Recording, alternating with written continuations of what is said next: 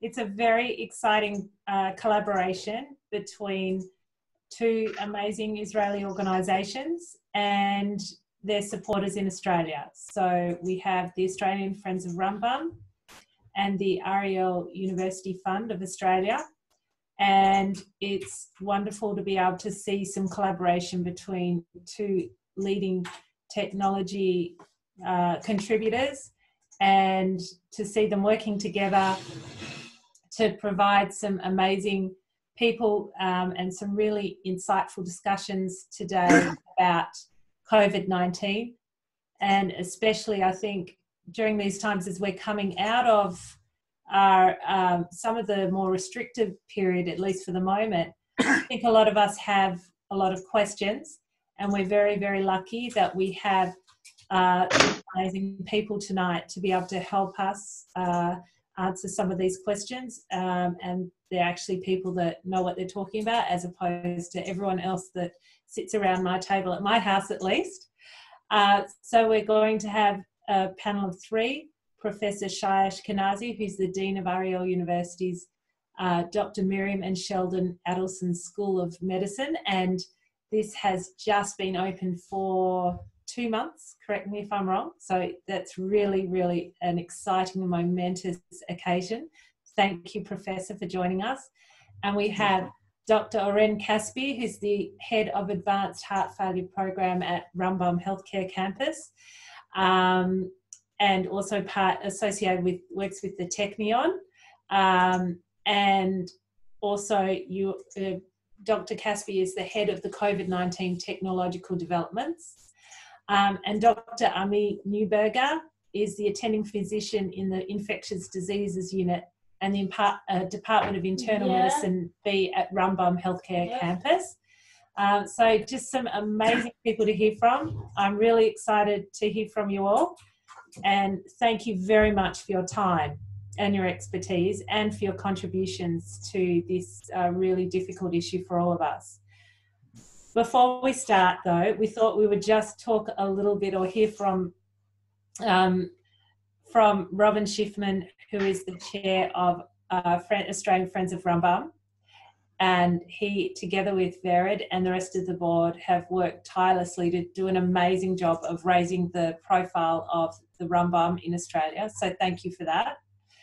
And then we're going to hear from Adrian Treger, who is part of the executive at Ariel University and he has also been working tirelessly to bring awareness of all the incredible things that Ariel University does.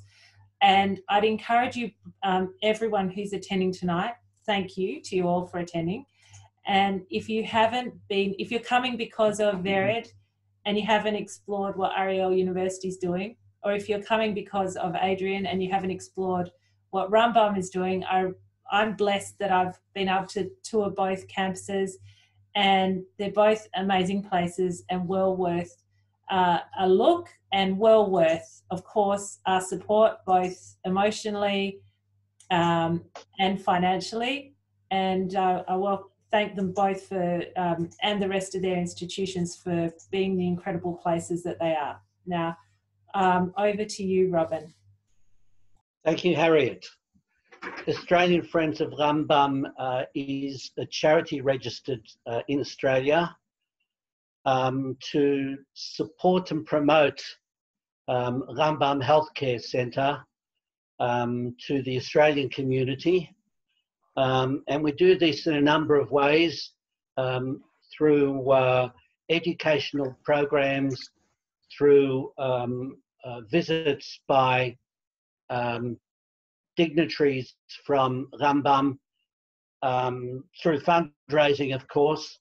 Um, and then we also promote um, improvements to uh, health and well-being of the Australian community.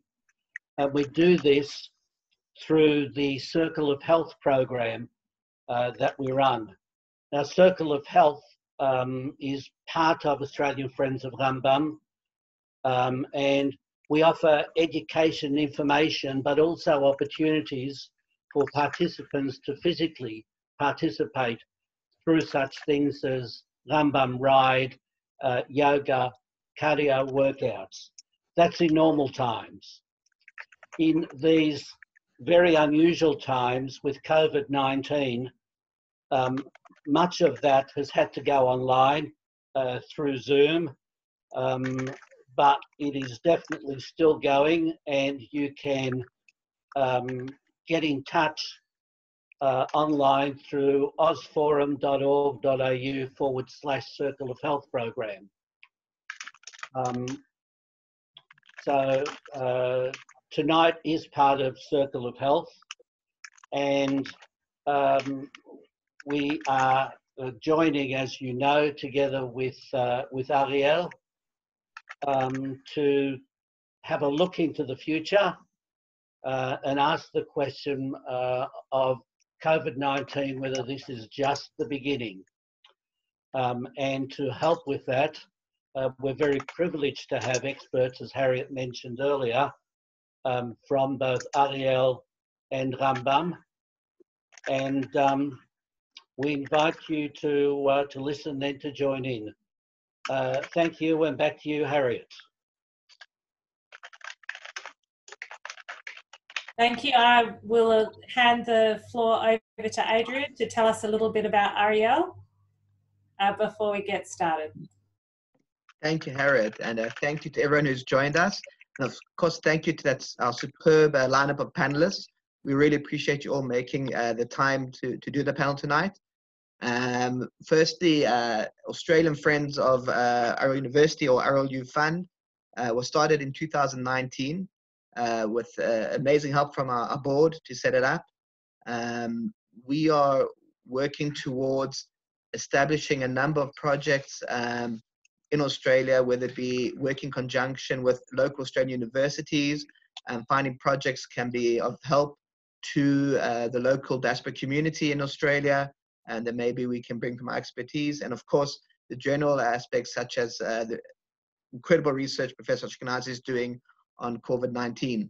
Um, we're looking forward, please God, to doing our launch in 2020 as soon as uh, the lockdown allows us and uh, give a hats off to our, our, board for trying to bring that together in a very difficult situation. Um, a bit about our University. Uh, we're Israel's newest university. Uh, we became a full university in 2012. Um, we offer um, exciting, unique courses in things such as oenology, the only school that teaches winemaking in Israel. Um, we are lucky to offer our students opportunity to do research in, for example, uh, what's acknowledged as the world leader in compact particle accelerators. So we're young, but we're excited and we're energetic. Um, and we're uh, very excited to be part of uh, the startup nation of Israel um, in every aspect of what we're doing. Um, and we've been very excited in our beginning stages of developing relationship in Australia with absolutely amazing response and warmth and embrace of the Australian community. And we thank you all for that. Back to you, Harriet. Great. Okay. Well, thank you very much. And um, I'm a little bit unused to this technology. So I'm, as before we get started, as we get speakers coming coming forward, I believe that if you use the chat function, you can uh, you can put questions there and we can present them to the panelists at the end. I think that's probably the easiest way to go forward if everyone's in agreement. Okay, so uh, without further ado, we will uh, get started with Professor Ashkenazi. Um, and if you could uh, take the floor and your get started on your views of COVID-19 and we look forward to hearing from you. Uh, and sorry, my apologies, Dr. Well, it doesn't really matter. I thought Dr. Professor Ashkenazi was going first, so we'll, we'll leave it at that. That's fine. Thank you, Professor. Okay, thank you very much. It's really my pleasure to see you all and speak with you. You know, the, there are many aspects to discuss on the COVID-19 and as an infectious disease specialist and someone who worked with uh, vaccines and immunology, we are concentrating on the very strange and unusual aspects of immune dysregulation with regard to the coronavirus. uh, outbreak. And uh, this will help us to develop vaccination against the disease, either passive or active vaccination. So I tried in about 10 minutes to describe uh, what I am talking about. First of all, it's clear that the immune system is critical to overcome every infection, including the COVID-19. Our immune system developed antibodies and cellular immunities to overcome the infection. That's uh, clear, and that's part of the idea of having a vaccine to prevent the disease. However, what we learn in the recent weeks is that the immune system that had to fight for the virus, sometimes there is what we call immune dysregulation, and our immune system causes damage, causes severe disease. And what in a typical cases of the severe cases of uh, coronavirus, seven to 10 days after the onset of the disease, when you have upper respiratory infection, flu-like, influenza-like disease with fever and runny nose and cough and some, some shortness of breath, suddenly there is severe deterioration which is caused by actually by hyperinflammation, overactivity of our immune system. And because of this overactivity, the whole immune system is working too much or too hard, causing damage and multi-system failure. And uh, this overactivity of the immune system, what we call immune overregulation or dysregulation, has a severe impact of the heart, mucocutaneously in terms of rash and uh, conjunctivitis, kidney failure, and this is actually the cause of uh, artificial ventilation and death of uh, adult, what we call ARDS. And I'm sure we'll hear in a few minutes about the myocardial involvement. And in children, we have a, a, a syndrome like Kawasaki-like, in which you have, again, rash and mucous membranes involvement and the myocardial involvement. Uh, in Israel, we had four children with this uh, hyperinflammation. They all recovered after intensive care. But in uh, the UK, in, uh, in uh, the US, there were some fatal cases as well, one in Belgium. So what uh, I'm trying to do with the team, with our immunologist, is to have a research to see what can we learn from this strange immune function and help the, the, uh, our patients in the future. So we have, uh, we are plan to take uh, blood specimens of those who have recovered from coronavirus children at the Schneider Children's Hospital in Petah Tikva, where, where I headed the department uh, of pediatrics A, which became the coronavirus department. So children recovered from coronavirus and adults from Hasharon Hospital. Hasharon Hospital was the, the whole hospital was coronavirus uh, centered. So we take blood specimens of those who have recovered and divide them into several groups, those who have very mild disease, very severe disease, those who were ventilated, and will have an, a, an asymptomatic control, others who were not sick at all. Of course, after having already the ethics committee approval and written informed consent from the patient. So we take three blood specimens and follow in details the immune response in terms of the repertoire of T cells, which is a bit complicated, and cytokines. This patient with the severe disease have what we call cytokine storm. There is a storm of cytokines. So by following these uh, patients and elucidating the detailed immune response, we'll try to learn what happened with the more severe cases and the milder cases. And on this basis, suggest novel approaches to these patients. For instance, in those adults and children with the hyperinflammation, we might need something to suppress the immune system. So we, this is the work which will, take some time. We have applied for the Israel Science Foundation for a, a, a, a grant for this uh, study, but we are going to do it.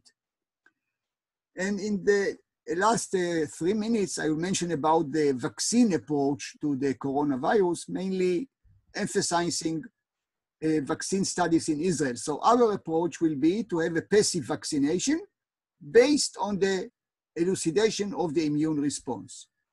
Now there are two uh, companies, the groups in Israel that are working on the coronavirus vaccine.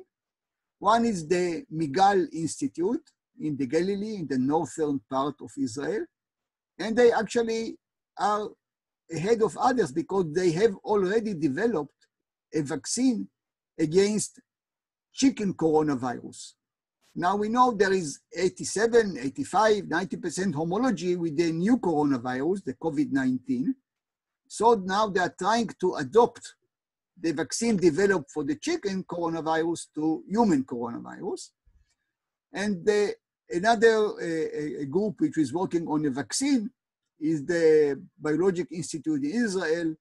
Uh, they are trying to have an active vaccine as well as a passive vaccine. Passive vaccine are immune parameters, immune components that you give for those who are very sick to get to have a immediate protection.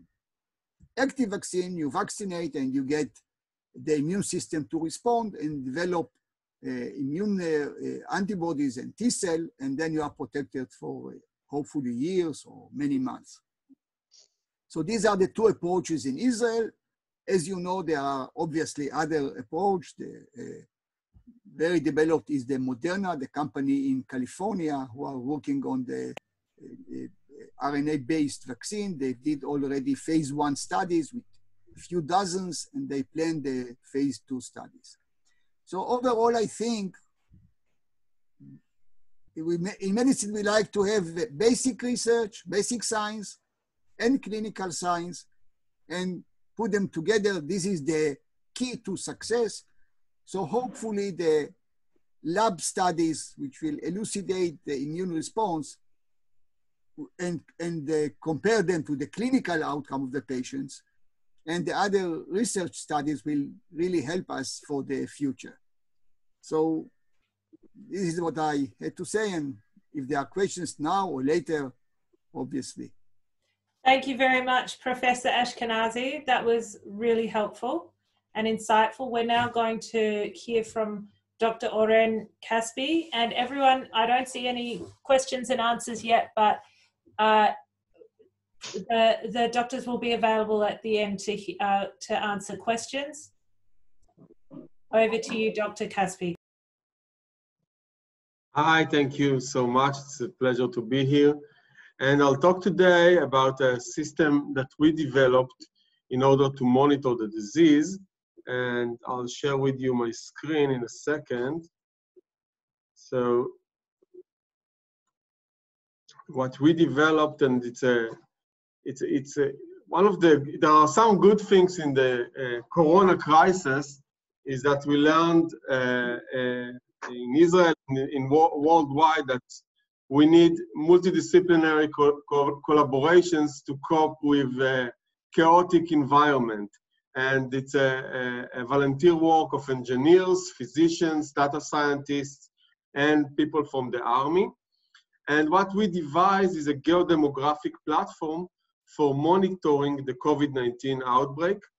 Um, the overarching hypothesis that we had, or why we are here, is that we that geodemographic tools uh, for COVID-19 outbreak mitigation and relief will be instrumental both for life-saving and economical revival. And what we actually do is that we do mathematical anal analysis of the disease trajectory. So we look at each and every geographical area and analyze the, the disease trajectory in each area as a separate geographical unit. And we established a tool set uh, uh, for COVID-19 risk at this geographical unit so we can um, tailor the specific mitigation um, like lockdown or a curfew that were used, or relief measures to that geographical unit. We were able to identify hotspots and specifically also uh, classify them according to hotspots with severe morbidity or expected severe morbidity according to the demographical data, age distribution, and comorbidities.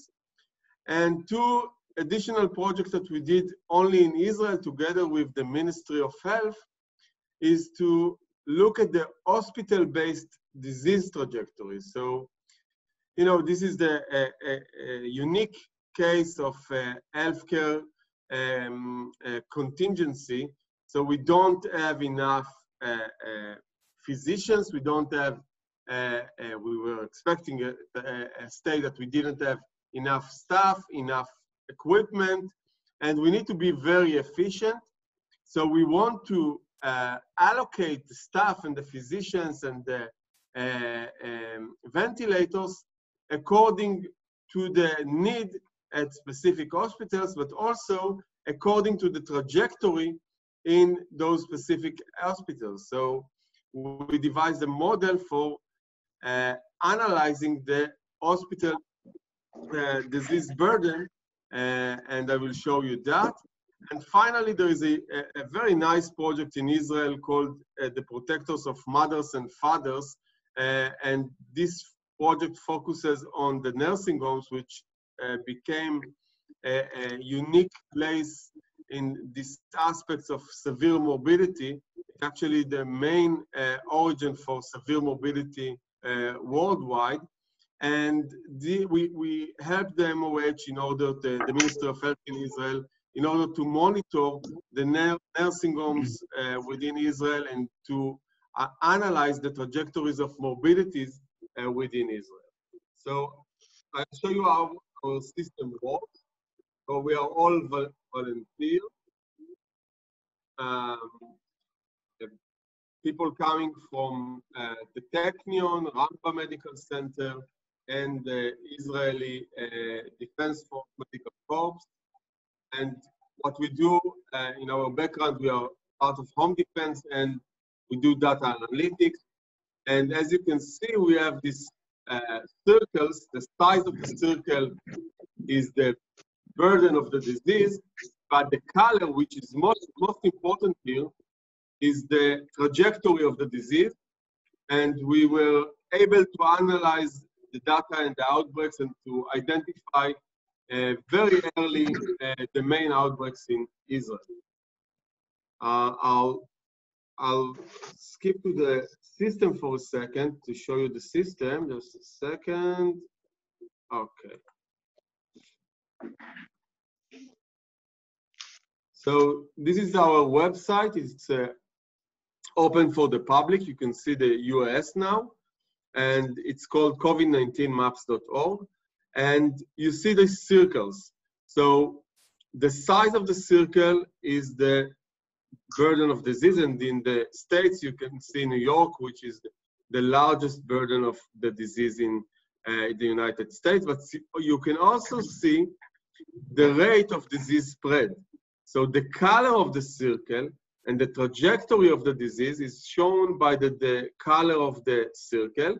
Red colors or warm colors uh, actually indicate that the disease spread rate is very fast.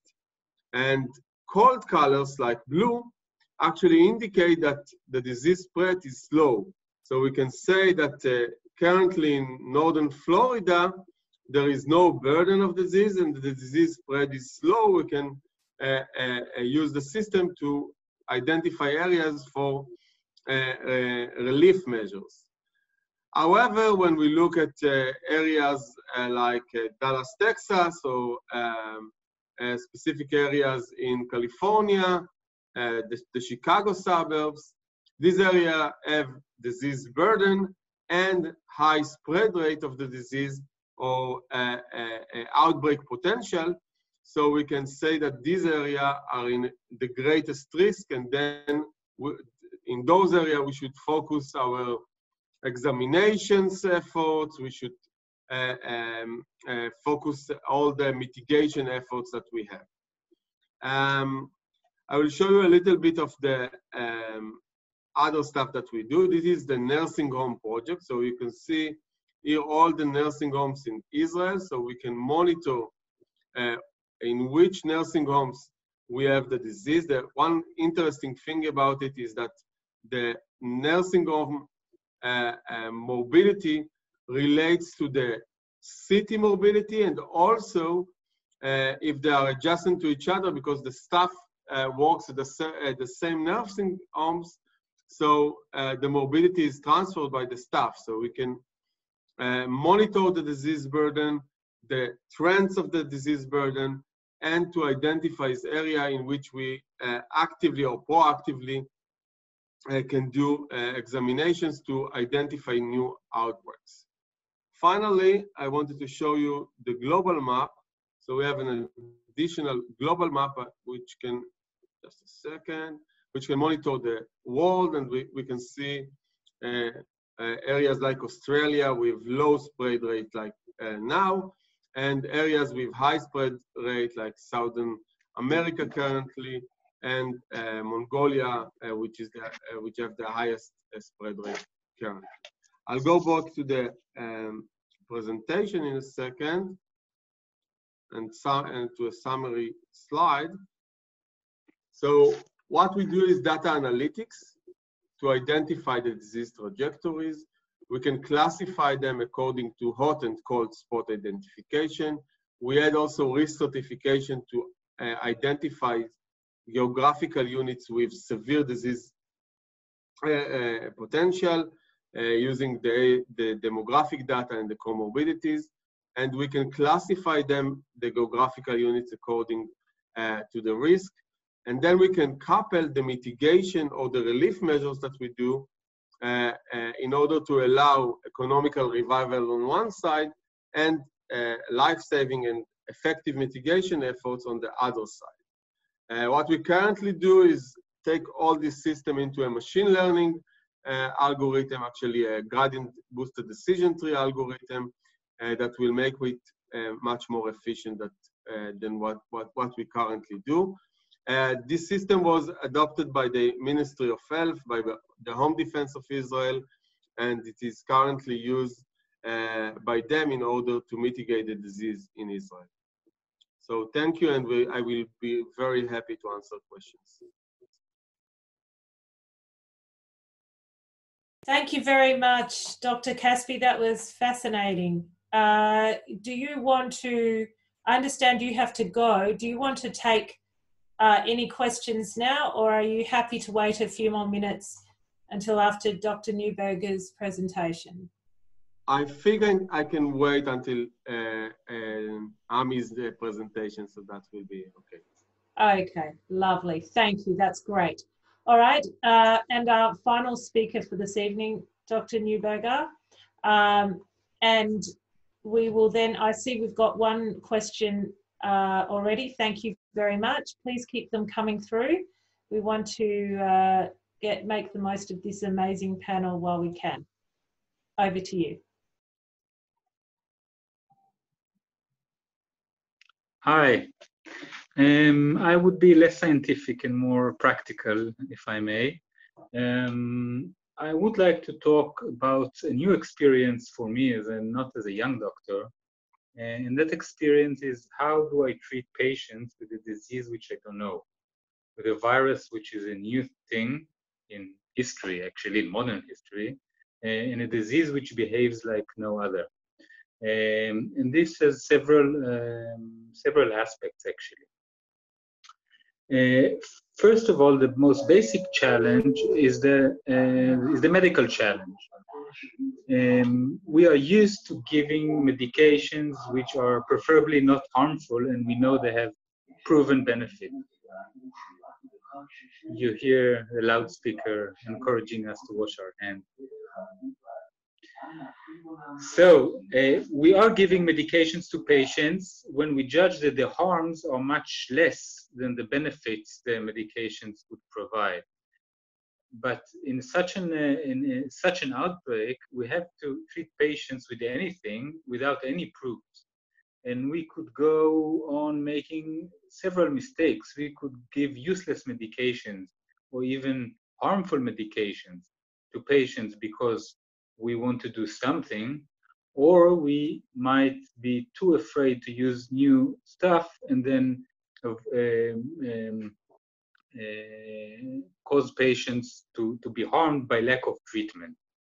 Uh, this is even more serious because patients with uh, COVID-19 behave like no other patients. Uh, the disease first is quite long. Uh, we are used to uh, most viral infections which are relatively short, and patients with COVID-19 uh, develop multi-organ failure. They need mechanical ventilation and resuscitation, usually after 7, 10 days, 14 days, even more uh, of disease, which is quite long.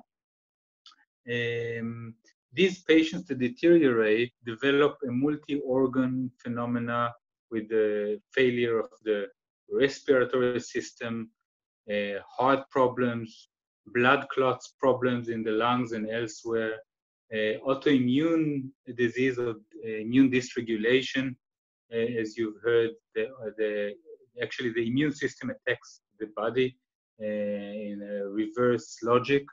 Um, and to treat this without prior knowledge is quite is quite difficult. That's a medical challenge. Psychological challenges are actually there are a few of them. First of all, uh, patients. Patients are afraid. At least in the beginning of this outbreak, every patient that came, even those with extremely mild disease, which were practically healthy, were terrified.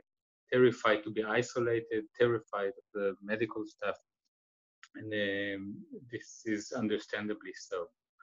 And the families of these patients at first could not talk to them, could not hug them, could not support them. Uh, they have lost a relative to this vague system, dark, uh, dark, isolated universe which they cannot enter. Um, so psychological stress was also very, very uh, pronounced among family members. And finally, among staff members, people are afraid to be sick. Uh, doctors, nurses with uh, maybe ill parents or, or young children, maybe themselves are not young anymore, or they, they have some chronic illness. Um, at least in the beginning, there was a shortage of uh, protective gear, not only here, also in the States and in Europe. Uh, so people were understandably uh, quite uh, edgy. Um, we had also to take care of that. And finally, the ethical issues. The ethical issues is how, how well, first, um, how much to treat a patient who is very, very old, maybe with a lot of background illnesses, maybe with the cognitive decline or dementia. Um, do we perform mechanical ventilation? Uh, do we perform chest compressions and uh, resuscitation? Generally, the general direction in Israel is uh, very proactive medicine. we we perform more resuscitations uh, than most countries in Europe and in the States. But uh, some of the patients were extremely ill also before they contracted COVID-19. And these ethical issues, uh, of course, are, are, are, quite an issue, especially when you have to make them when the family and the patient cannot even communicate properly. Um, the other ethical question, which we luckily did not face, is shortage of uh, mechanical ventilation uh, possibilities. Uh, in New York City and in Italy, they did face these issues. Uh, in northern Israel, we did not have so many cases, but also in hospital uh, in Jerusalem and in the Tel Aviv area, there was no shortage this time of of equipment. So luckily we avoided this very, very difficult uh, issue. Um, I think it's better to shorten and wait for your questions. Thank you. Thank you very much. That was really fantastic to hear from you all. And so to move, we've had a few questions. Some of them also have come up for some reason. Some people could only message privately for some reason, but we'll start with the ones that are on the open question and answer section of the Zoom panel. Uh, I, we have one question, uh, well, two related questions. I'm wondering if it's safe to visit Gary Smorgon House tomorrow in Melbourne. Also, if I should go, should I wear a mask? And the person asking the question is 68 with heart issues herself, but she really wants to see her friend who has ALS.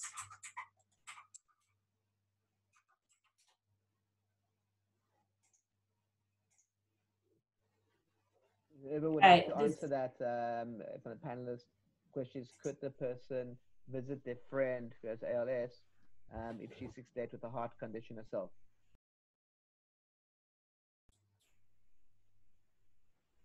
Well, I can start. It's okay. Uh, I don't know the situation in Melbourne, but uh, obviously, uh, older persons with heart disease, underlying disease, is at risk a person, and uh, it's recommended to have a mask. It uh, can help for a short period of time, so it's really recommended. Now, obviously, all it depends upon the amount of disease in the area that you would like to visit. Uh, I'm not sure about the details in Melbourne. I've been in Melbourne, but it was 10 years ago, so I'm not sure the, about the coronavirus there. But certainly, um, if someone wants to visit, a mask is recommended.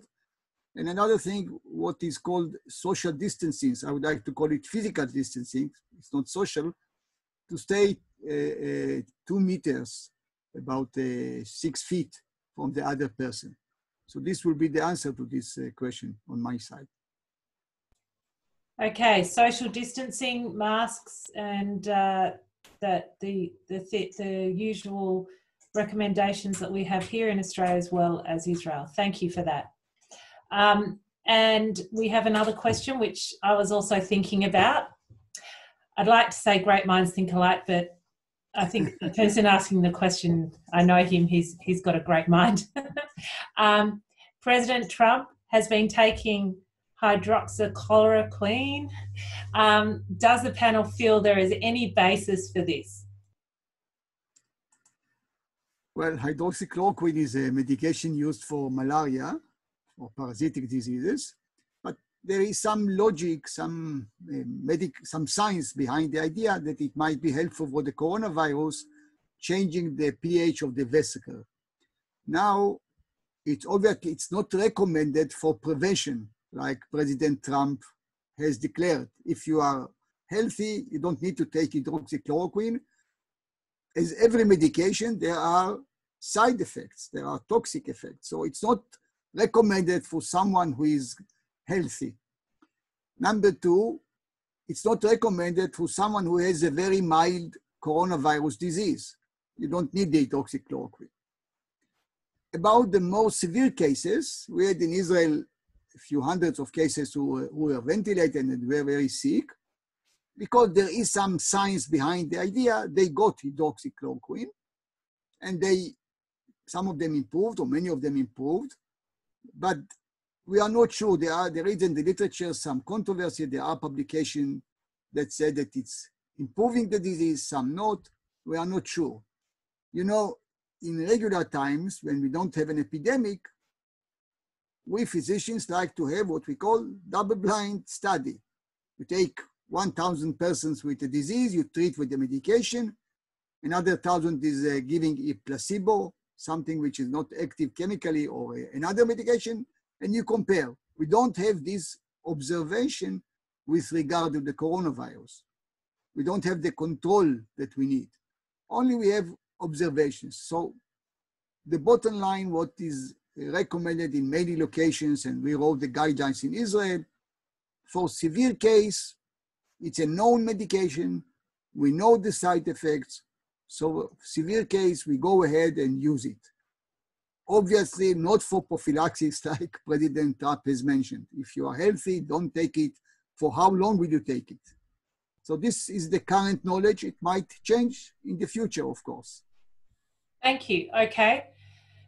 Uh, fourth question How widespread and why is the virus spreading to children? Why is the virus not spreading or spreading to children? Why is the virus? The question is why, how widespread and why is the virus spreading to children? Okay.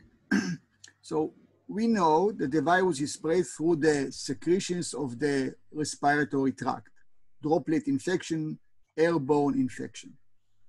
And uh, this virus is very infectious. That's why I'm afraid the virus might stay with us for a long time. There are some examples that a single person in a social event infected dozens. There was a an event in, in South uh, Korea when someone in a church infected dozens.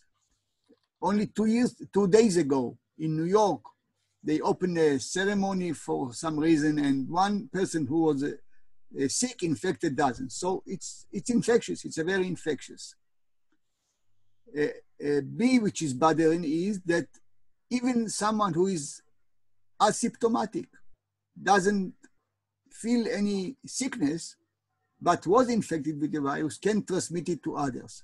That's why the virus is spreading as, as, opposed to SARS, for instance. In SARS, 20% mortality, very severe disease, but we knew who has the disease, we, we could isolate them. Here it's a very mild disease. Even if you are asymptomatic, you can spread the disease. Now, it's interesting about children we know that in most respiratory diseases like influenza, the flu that we have every year, children have the highest rate of disease. They don't, they have less complication, they, they don't die, luckily, but they are spreader of influenza because children don't keep hygiene and they don't have antibodies. With the coronavirus, it's very interesting. The global experience in Israel as well, in other countries, children are affected less frequently than adults, and they have less severe disease. We are not sure why. We know that the coronavirus is, is a, actually a family of viruses. So maybe children were exposed to other coronaviruses and are, have partial protection, but children are involved with this epidemic less than adults, and the severity is also lower.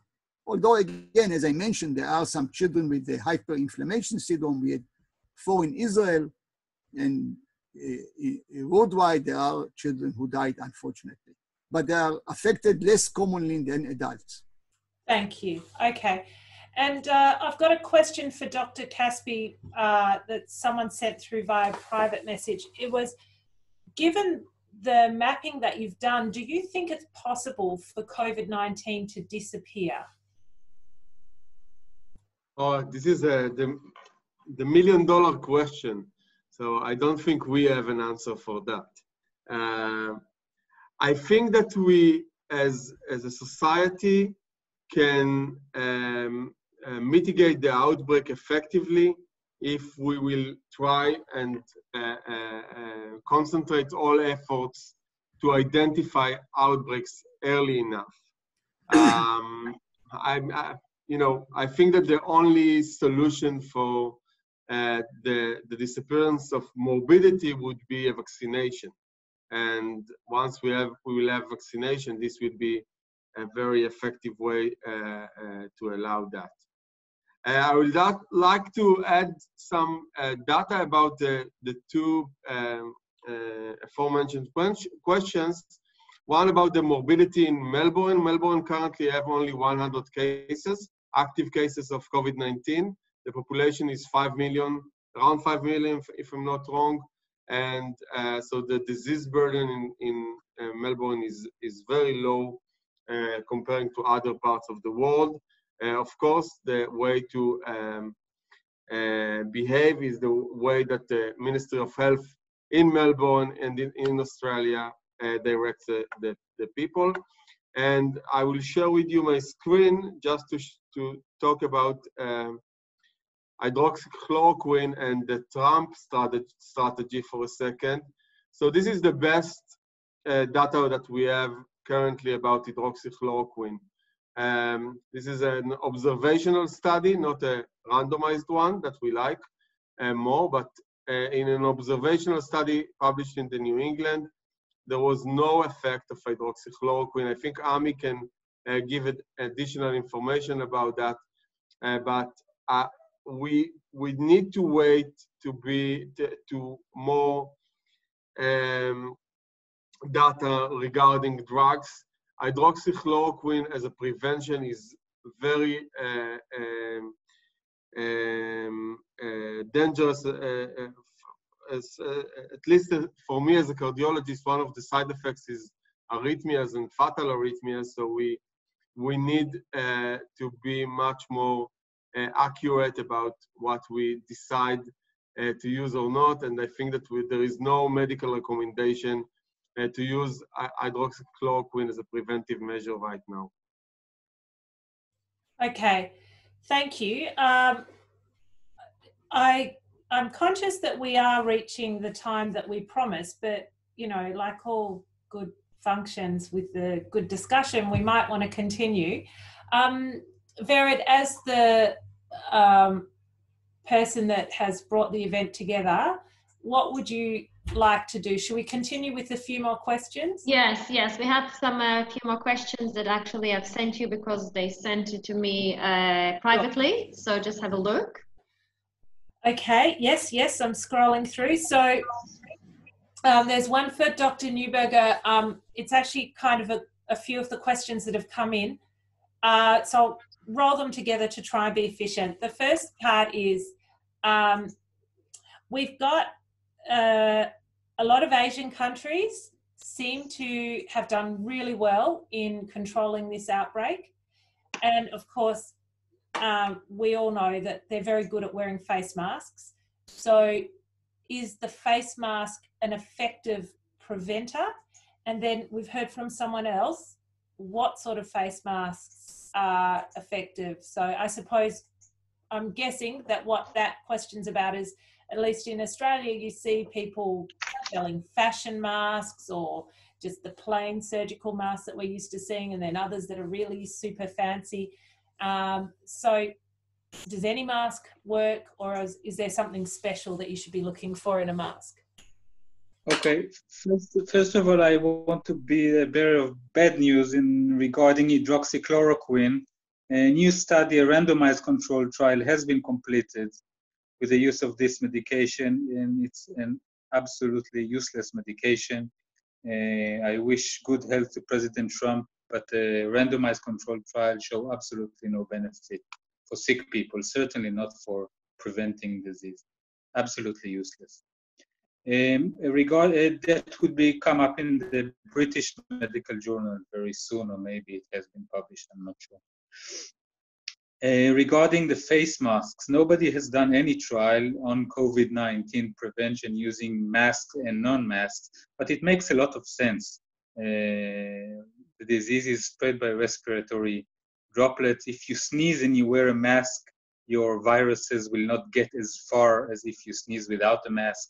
Um, so it certainly would prevent you from infecting other people. Um, the thicker the mask, the smaller the holes of the fabric it's made of is probably more efficient. And surgical masks probably some efficiency, certainly not 100% protective. The, the N95 masks, which are a bit more expensive, um, would probably be more effective in, in protection the individual. Thank you. Thank you. Okay, I've got another open question. Um, so, uh, Doctor, uh, this is from uh, someone with a medical background, so I hope I express this correctly because I do not have a medical background.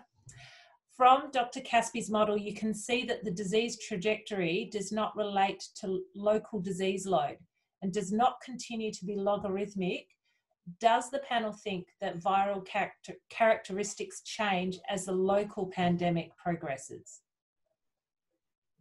I guess that's one for Dr. Caspi, yes.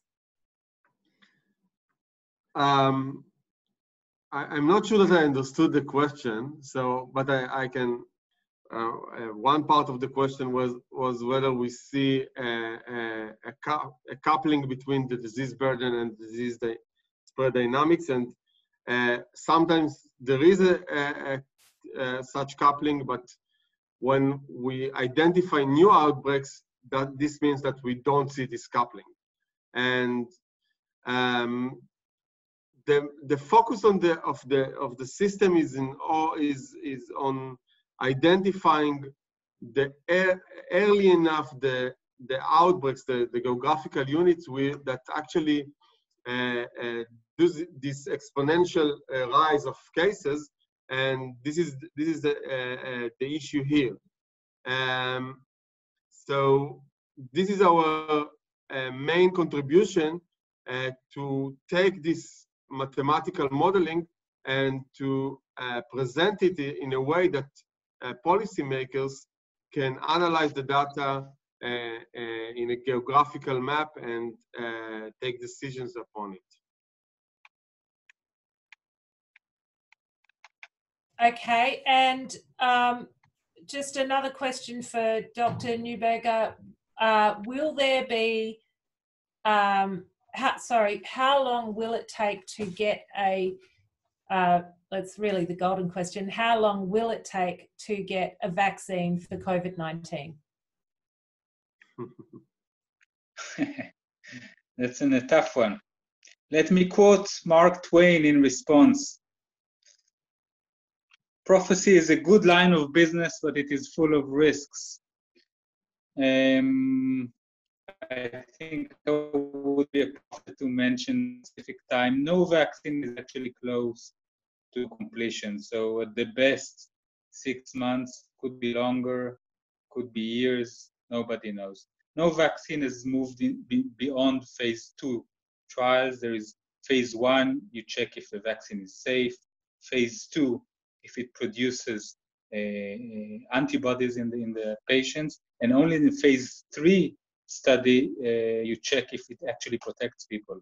Still a very, very long way to go. Okay, I think we might have uh, time for one. Uh, well, I'll try and get two more questions in. There seems to be sort of two along, sort of two lines of thought. There's different variations of. The first one is sort of going back to the question before that was asked to Dr. Caspi about, you know, localized uh, COVID 19. This one is, it, there's the rumor, as we all hear them, um, where experts are expecting a second ra- wave of COVID 19 in conjunction with an extremely difficult influenza. So, does this complicate treatment for COVID 19? Ami, do you want to take the question? Yeah, bye, Oren. See you soon. Bye. Uh, Oren, thank you so much, Dr. Caspi. Thank you so much, Dr. Caspi. You have here. Thank, thank you so much. It's my pleasure. Thank you. Thank you. Bye-bye. Bye. Um, there have been prophets giving very optimistic prophecies here in Israel saying no more than 10 people will die. That actually came from a Nobel laureate. Uh, there were also estimates of 15,000 people would die, and that's luckily not true. Um, so nobody knows. It's a new virus. It's a new disease. Uh, there is some logic to it coming with an influenza to make the winter a horrible one, but I think we are much more better prepared with systems like Dr. Caspi presented. Uh, we could identify outbreaks very soon and install uh, preventive measures so I'm not that pessimistic. I don't think we will have a, a doomsday winter, but I may be wrong. Thank you. Okay, and maybe the last one for Professor Ashkenazi. If someone sneezes on a surface and then leaves, can a different person come a few hours later, touch the surface and get infected, or is it spread mostly through direct contact? And thank you. First, just to elaborate on the previous questions, another quotation, it is said that it's hard to do predictions, especially of the future. So we don't know, but uh, I'm also optimistic. I think we have now rapid diagnostic tests for influenza and for coronavirus by PCR. We can isolate the patients. Uh, typical, the other influenza viruses are seen mainly in the spring. So I'm not sure. Obviously, we might have uh, both viruses, but I'm not sure. No one knows if we'll have another uh, wave of uh, coronavirus. Now, to answer the question, as with the hydroxychloroquine, it's not so simple. We know that the coronavirus survives on surfaces. It has been shown. It can survive for days, depends upon the surface. However, a further study that was done showed that the number of viruses that survive and their infectivity is much lower. So although the virus survive, can recover it from surfaces, but the numbers are low, what we call the inoculum is low, and the infectivity, the activity of the virus is also lower than usual. So, so in general, it's more direct uh, aerosol airborne infection spread by the nasal secretions. You know, but if someone will sneeze on a surface and a few minutes afterwards someone will touch it, obviously you can be infected. But it's less, less common, a less common way of uh, transmitting the disease. Thank you. Thank you very much. I think we've got enough and we've run a fashionable 12 minutes over time. Yeah. So I think we can tick that box. Uh, thank you very much for our experts. Thank you to Adrian and Vered, and thank you to Robin. And of course, thank you to the attendees. Thank you everyone for coming. Uh, it's been a fantastic uh, honor to be part of such a great event, and I look forward to seeing many, many more events where we can all come together as we should during this time to work together on helping each other get through this. And hopefully, we will see one of you talented doctors come forward with, with a cure, hopefully, very soon. Thank okay, you so stay much. safe. Thank you. Thank Yeah. you. Go, go Bye-bye. ahead. Thank you. Bye bye. Thank you to everyone on the Thank you, panel. everyone, for joining Thank us. Everyone. Bye-bye. Thank you. Thank everyone. you. Special thanks to Professor Ashkenazi, Dr. Oren Caspi, Dr. Neuberger, and Australian Friends of Rambam Chair Robin, and to you, Harriet, and thank you, Adrian from Ariel University. Thank you all, and thank you for all the participants. Have a good night. Thank you. Good night, everybody. Good night. Good night. Bye. Kol-